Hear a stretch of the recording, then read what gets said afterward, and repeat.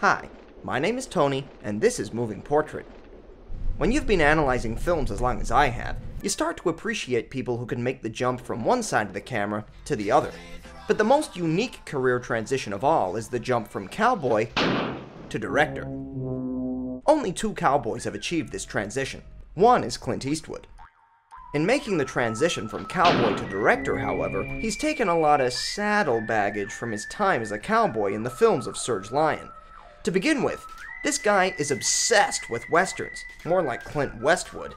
And on top of that, did you know that none of his characters are ever named? In fact, Clint Eastwood himself was unnamed prior to his big break. From a cinematic perspective, this is deeply problematic. Why didn't he just name his characters?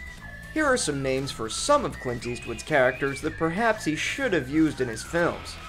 John Wagon, Big Hat Man, Murph Greeley, Groats Gusto, Gunman 20, Lance Reddick, Bob Scrapyard, Moose Vale, Frank Fried Chicken, William Spokeswoman, Flex Faraday, Montana, Mississippi, Ken Fables, Grand Canyon, Mitch Humpsteak, Muscly Pete, Cattle Rustler, Armando Silverfish, Cool Thomas, Damon Albarn, John Frightening, Tex Texas, Armadillo, Munch Grubsteak, Dunzo, Joey Phosphate, Hog Swiss, Frank Smack, Jonathan Chef, Gas Weathers, The Man with No Horse, Hoedown Justin, Pilot Murphy, Walter White, William Unforgiven, Bobby Dollars, Gun Show Murakami, Steg Windex, Nelson Man, Philip on the Range, Dusty Trails, Horse Professor, Crab Sheriff, Hubert Big End of Town, Tex Mustards, Angry Father, Gold Steel Thief, Slim Checkers, Blake Hardcastle,